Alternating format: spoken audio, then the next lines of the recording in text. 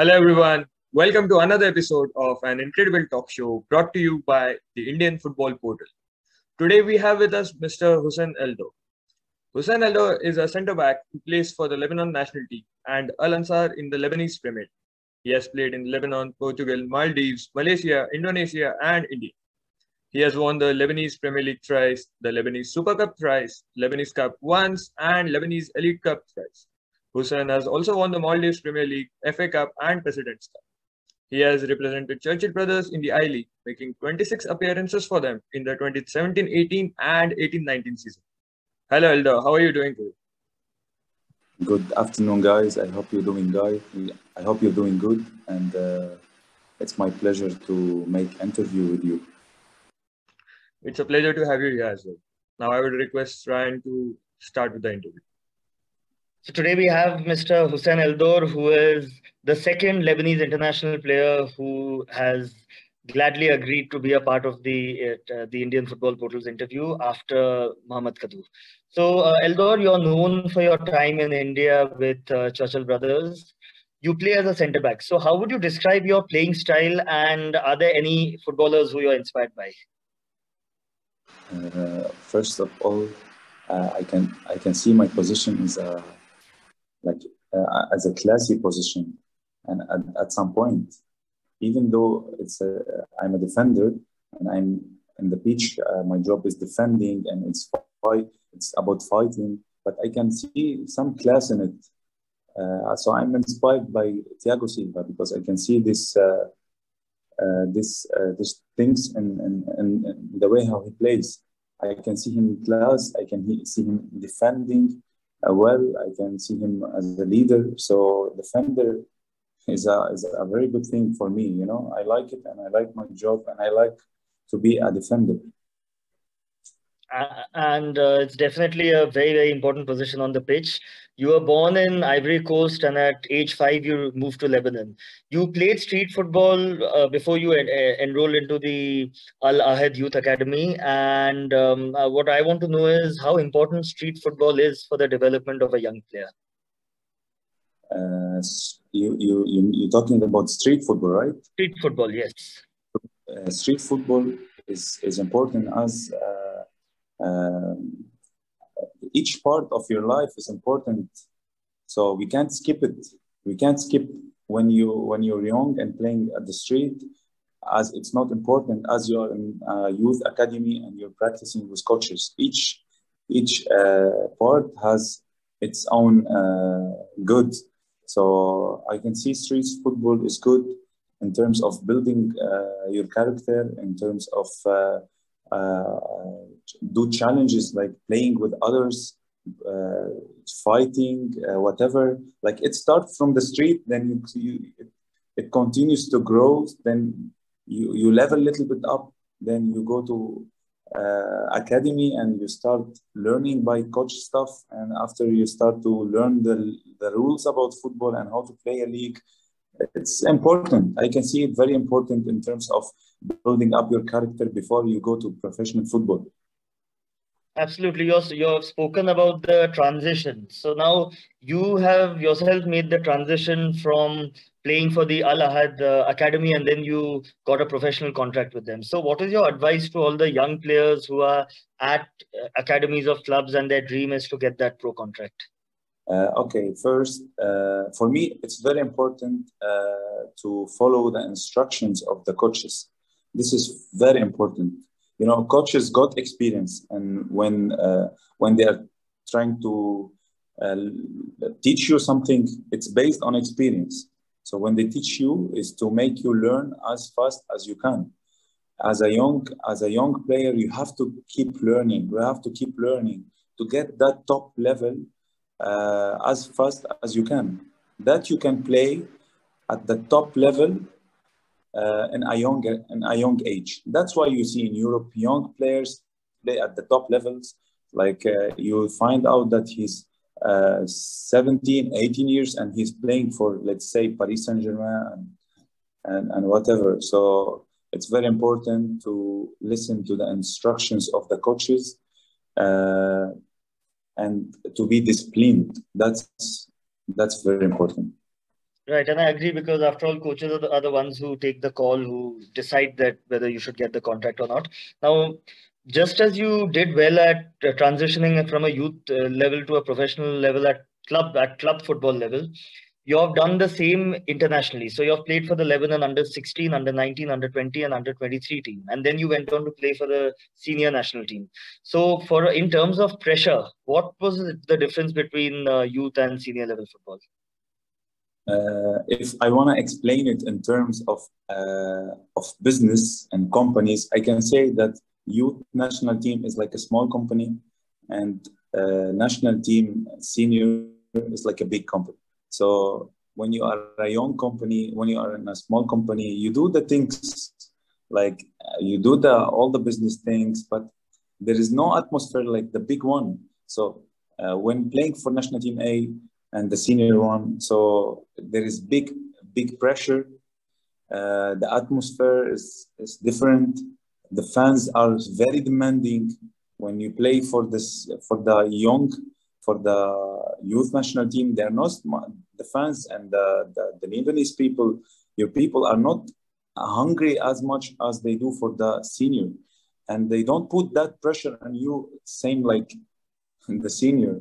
It's it's they have the weight, they have they have passions, they wait from the national team junior to get the experience, to to to grow up, to keep learning, to learn from the challenges and the experiences but at the A, when you reach the senior national team, is you have to be the top. You have to be at your top. You have to be giving 100%. There is no joke. There is no mistakes. There is no, uh, you, you have to be at the top. You have to be giving 100%. It's, it's more like, it's, it's the maximum. It's the maximum that you, you have. You have to show it. That's the difference. I like the example you gave of, of, of a small company and a big company. Now, as a Lebanese player, you made you got into real big company when you made the move to uh, Benfica. So, what was the age group you moved to Benfica in, and uh, what is the Portuguese football environment like? Uh, I I I went for tryout to Benfica at at an age like uh, 19 at that age when I when I went there, I didn't find like many Ronaldinos. I found out that there is many many players from all over the world, from South America, from Europe, from everywhere, but all are hungry or or are uh, uh ready to, to to to to for the challenge, ready to do something big. Uh, I found out disciplined player. I found out that hunger was different. You know, when you're at Benfica, and you see many examples, like players like David Luiz, he was in Benfica and he moved to Chelsea, Paris Saint-Germain, national team of Brazil. Then when you're there, it's different. You, you can feel how, how real it is, how you are close to your dreams, how, how you can you start to believe more in your dreams that it can come, come true, you know? This is, uh, uh, this is what I, I found out there. So uh, what they focus on is on the little small details. In Europe, for them, the little small details in football, it's important for them. That's why they are ahead. They are not like any other place when it comes to football. You know, they are the best, always controlling, always winning. Uh, they are at the top because of uh, focusing on little important things and how professional they are. They do sure the they they do the things correctly. They don't sure mind. You improve, yes. I'm sure this uh, helped you improve a lot, and you went and played in the esteemed AFC Cup. Now the challenge there is that you're playing against opponents from different countries and they are not in the same league as you. So then you might have to face unknown opponents, not knowing how they use how they really play. So what is the team preparation like so that you know you're in the best position to to try and uh, give uh, try and fight the unknown opponents? Uh, like you know there is basics in each position. For me as a center back when i go to face let's say uh, south korea like they all look for example similar and it's and and they play in europe and you cannot uh, you cannot read the game you know? You have even if you watch it they have many style how to play. So for me, there is few basic things I always focus on and I practice on to to be ready for for all the type of the striker. Those who are skillful, those who are powerful, those are good in the air. So I always try to make that balance, uh, can, which can make me control all the types of the striker. So it's important and it's very good to give you experience and uh, to to get ahead. So in the AFC Cup, which were the which countries clubs have you played against? Uh, I played against many many countries. So Arab countries like uh, Kuwait, Oman, Syrian, Jordan, the Bahraini the Bahraini uh, team. Uh, the Jordanian team I played against, even in, in, in the Far East, I played against Singapore team, Myanmar team, Bhutan team. So I, I, I faced many, many type of strikers, many from Europe, Brazil, Africa.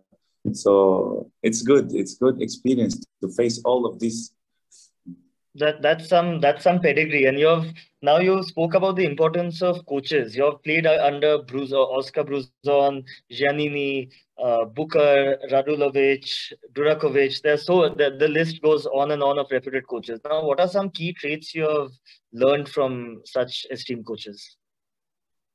Uh, the most the most coach who like we can say affected positive on me is Michel Salgado Michel Salgado was my coach in Dubai Sports Academy, and he taught me many things. The guy who played for Real Madrid for more than maybe he played for 10 years, almost 10 years. So full of experience. Everything he used to say on the beach is like a big thing for me. You know, we have to keep learning from every word he said. The guy is is just experienced. So he was he taught as a defender he taught me many things like how to defend uh, when to attack when to defend well how to stop a counter. So the basics i i got to learn from him well. And uh, and i appreciate this. So it's it was a very good experience with him Definitely, especially someone of his caliber who's been at the top of football. Now we come to the next uh, segment of questions, which is going to be the most interesting because most of our audience are from India, are Indians from India. So you are part of the foreign contingent at Churchill Brothers alongside uh, Khalid Aucho, Dora Cisse, and Willis Plazas. How well did you adapt to Indian football? Uh, to be honest, when I came for the first the first season, the team was struggling. And i came and, uh, and I, like you know when you come some, sometimes you sign for teams at the beginning of the season and your adaptation it's get easier. But when you come in the middle of the season and the team is struggling you have to put double effort to make it happen. Like i uh, uh, i felt my adaptation was was okay. But after few few weeks, because of the weather, because of the nature of India, it's it was a completely different country. I never been in India. I never I never seen uh, many things in India. It was completely new, but I was focusing on football and I was focusing on on on succeed with the club. That was my goal. I didn't let the things affect on me in a bad way as much as I thought I have to, I'm here for a reason. I have to make Churchill uh, come back. I have to win something with them. That was in the first season, but in the second one was easy. I already felt uh, like home. Uh, the family was fantastic. They respected uh, all the foreigners. They respected uh, everything, like everything we asked for. They used to uh, Uh, they used to help us to play better. They they were good and they helped us for adaptate for adopt very quickly. And this this this is was this was amazing there was an immediate impact because you came in and you helped your team win 2-0 against uh, Shillong Lajong. So now, since you know Indian football so well, because you've had a good good couple of seasons, how, what is the difference between the I-League, playing in the I-League in comparison to all the other countries that you have played in? To be honest, uh, I can see I can see the the Indian league is is a league who are who have many fighters. They can run a lot, fight a lot, and it has difficult circumstances. Like when you travel to play against Shillong in uh, or against uh, Aizawl, you travel. It's it's very far. You know, it's like you travel from a country to another. So it's it's not easy. It's not easy to travel to face them there.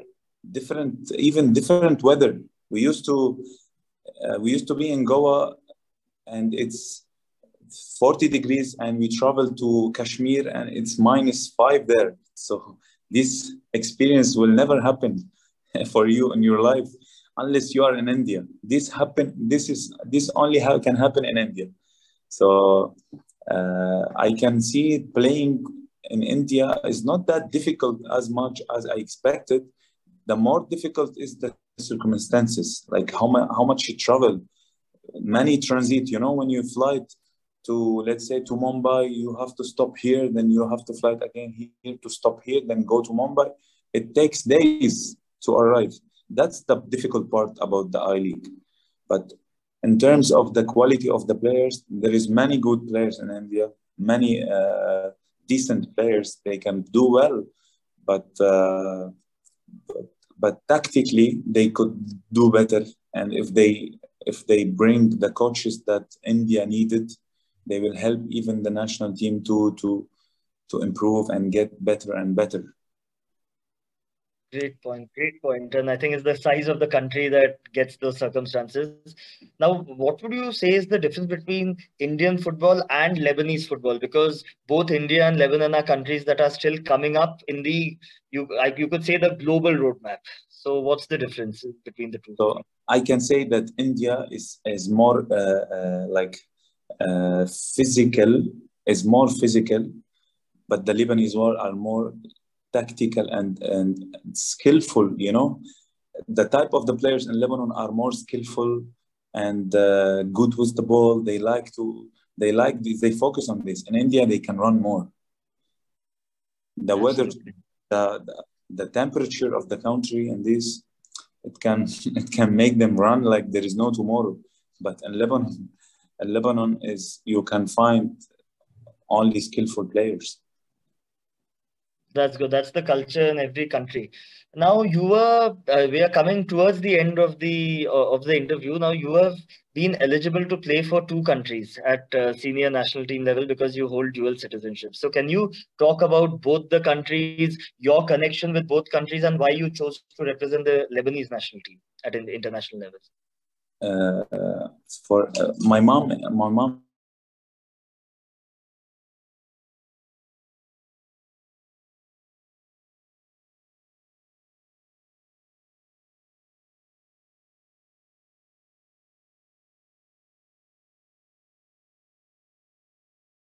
Lebanese atmosphere, the Lebanese league, the Lebanese coaches, and I'm here in the country, so I can give them something as I raised up here and uh, in this beautiful country.